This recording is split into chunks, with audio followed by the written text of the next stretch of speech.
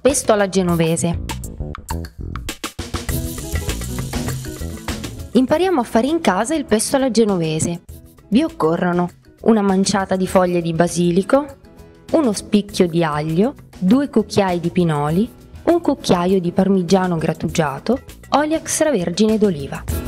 Prima di iniziare assicuriamoci che i barattoli siano ben puliti e sterilizzati, passandoli sotto acqua calda e lasciandoli scolare prima di conservare qualsiasi alimento. Munitevi di un frullatore, aggiungendo un po' per volta gli ingredienti. Lavate le foglie di basilico e asciugatele. E mettetele nel frullatore, spezzettandole con le mani. Sbucciate uno spicchio d'aglio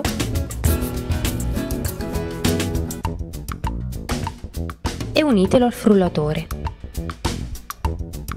Aggiungete i pinoli, il parmigiano grattugiato,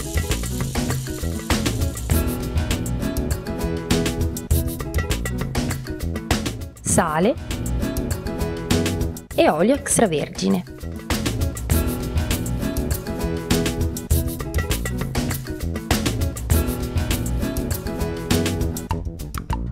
Chiudete il tutto e frullate.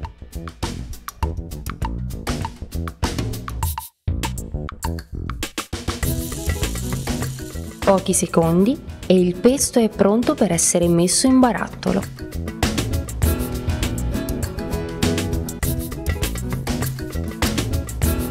E poi conservato in frigo.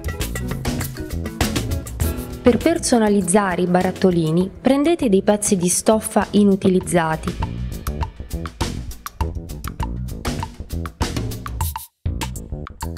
Ritagliate dei quadrati a seconda della grandezza dei coperchi e fermateli poi con un elastico.